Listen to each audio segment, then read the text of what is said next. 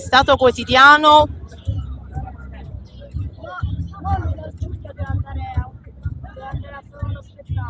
Ah, quindi sei già... Eh? Vabbè, con Tu lo spettacolo, sei già un attore consumato allora, già importante. Ho già fatto più di 10 spettacoli. Eh, grazie di avermi concesso una fotografia allora, Lorenzo, grazie. 10 spettacoli. oh. Bravo Lorenzo, ciao. Grazie buonasera De Caro, benvenuto a Manfredonia per Stato Quotidiano. Il, le faccio una domanda, il prefetto ha nominato la commissione di accesso agli atti, Eh, lei ha risposto dicendo un atto di guerra, perché?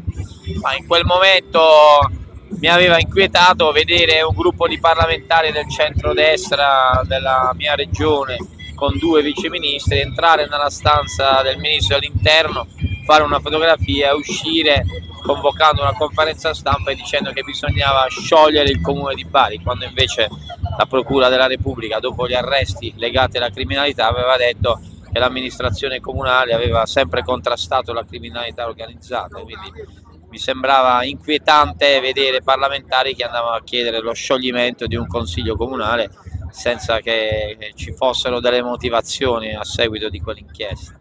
Secondo lei, Sindaco, questa vicenda può creare una nota di demerito per la sua candidatura europea?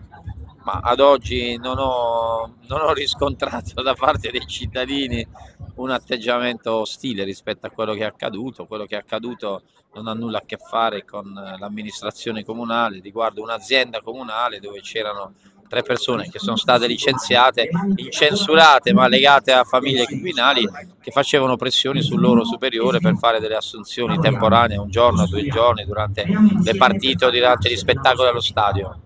La ringrazio, Sindaco De Caro. Grazie.